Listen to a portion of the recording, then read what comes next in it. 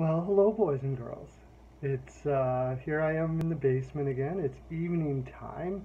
I have uh, I have put all the uh, masseuses to uh, tuck them all into their resting places so they can be well rested for their uh, hours of service that they put in tomorrow, of course. Um, I've been putting in videos about once a week now in the summer.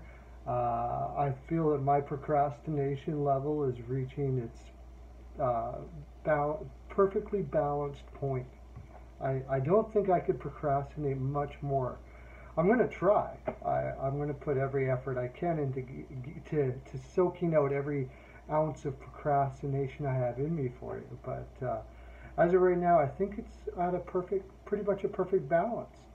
Um, we're getting to the end of our series of uh, each NHL hockey team for the summer because there's only not long and the season's going to be starting, boys and girls. And I know you're on the edge of your seat to find out what I'm about to say about the New Jersey Devils uh, and have been for quite some time. I get the letters. I just, um, uh, Bailey Ron, Bailey Ron Brandt? Bailey Ron Brandt asked, uh, um, how come you're only doing videos once a week? I, I, I don't know what to do with myself, she said, she asked, he asked. I don't know if it's a girl or a boy, he asked.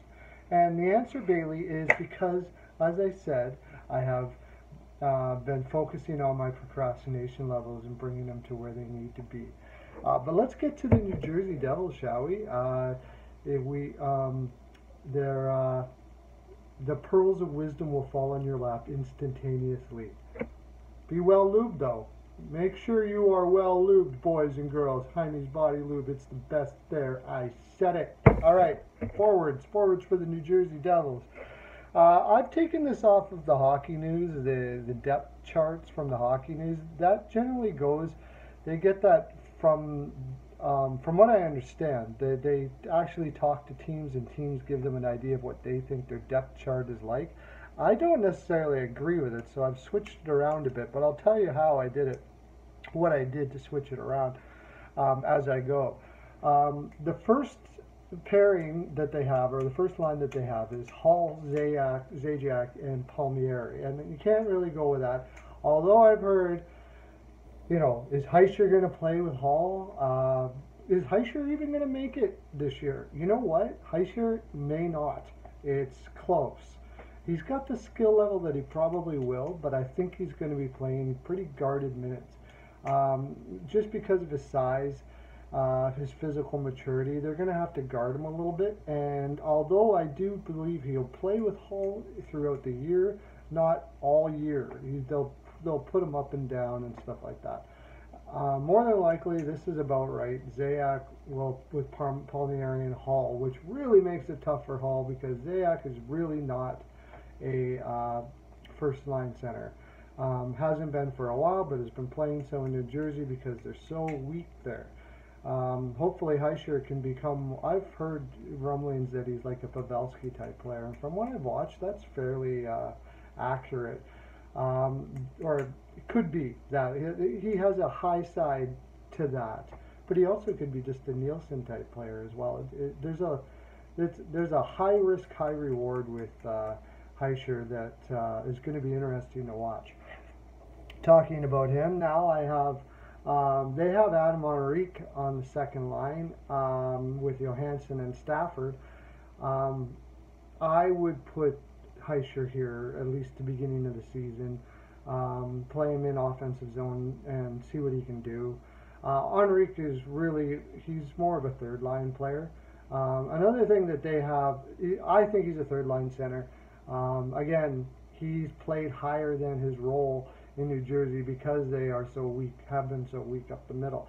I'd like to say that with these forwards, what they're producing here, we know they're not Jersey's not going to make the playoffs next year, but they're um, putting together a team a lot like the LA Kings of their heyday, just re, um, and it's a big, solid, strong, defensively minded uh, team that is going to be a handful really soon. Um, they have Zacha playing up the middle, but I think he's going to play on the left side again one more year. Uh, that would be Zacha, Henrique, and Spears, and that is actually a really good third line. Zacha is was not given enough credit because he only got 24, 25 points last year, but he played really, really well for a first-year player. I see him probably getting in the 35 to point, point four, 35 point range this year, and has high side to even be higher.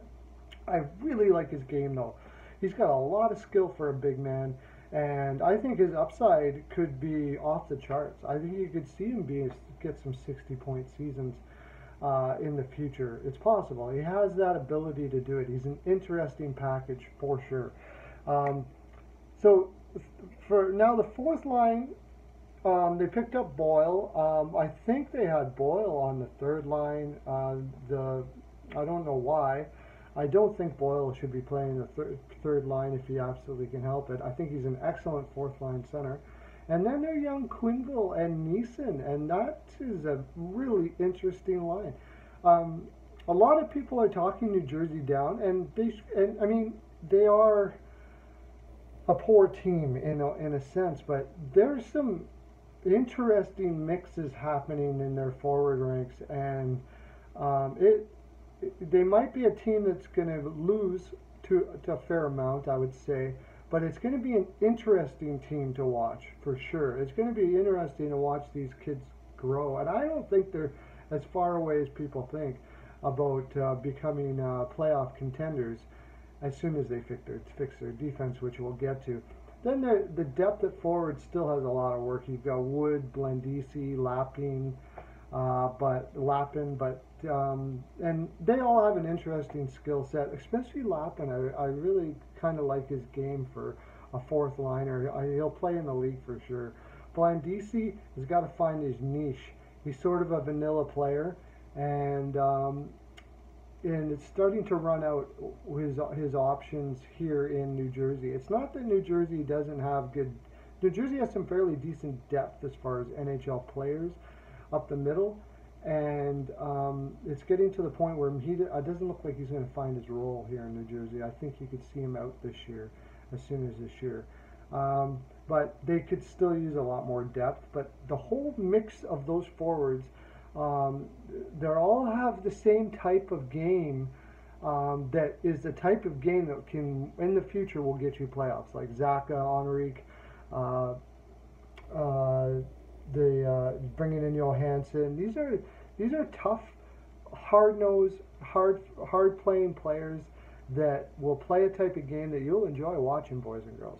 Getting their defense, we're already up to eight minutes, so I'm going to do it quick because there's not much to talk about. Uh, they have Greene, Lovejoy, Morse, Severson, DeBlanco. DeBlanco, I don't know where. He's barely going to be an NHL player. I think he's more like a five-six. They got him from Russia. He's a defensive guy who had a really good year last year.